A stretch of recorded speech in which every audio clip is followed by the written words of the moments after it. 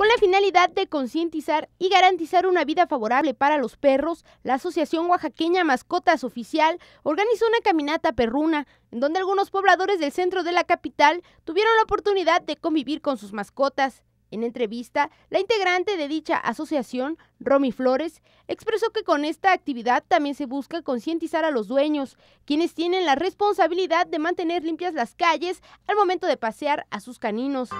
Eh, hagan conciencia los amos en sacar a caminar a sus mascotas para desestresarse de las cuatro paredes en casa, al mismo tiempo que también se integra la familia sacando a sus peludos, nuestros peludos socializan, nosotros como dueños hacemos más amigos y otro de los objetivos es de que también los dueños socialicen en que cuando sacan a, pasear a su, a su, peludo, perdón, eh, levanten las heces.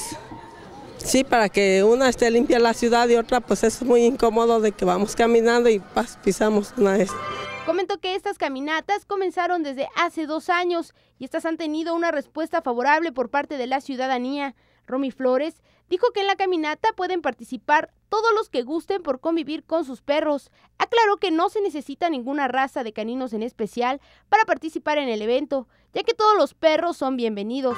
Eso ah, siempre ha sido tema de, ahora sí, contradictorio también, eh, y tema de discusión. Todos dicen traen perros de raza y no traen perros mestizos. La invitación de las caminatas perrunas es para todos los peluditos sin distinción. Ahora sí que ya es eh, decisión del dueño en traer a su perro. Muchos ven perros de raza, pero no saben que detrás de esto el perro fue adoptado. Y empiezan de que no, lleven perros adoptados, lleven perros este, mestizos y no de raza. Muchos perros de raza que vienen aquí son adoptados. Para ser partícipes en las caminatas, solo se tienen que cumplir con algunos requerimientos, tales como llevar una correa y agua para los caninos y sobre todo una buena actitud para convivir en familia. Con imágenes de Alan Ramírez, reportó para MBM Televisión, Vicky Ramírez.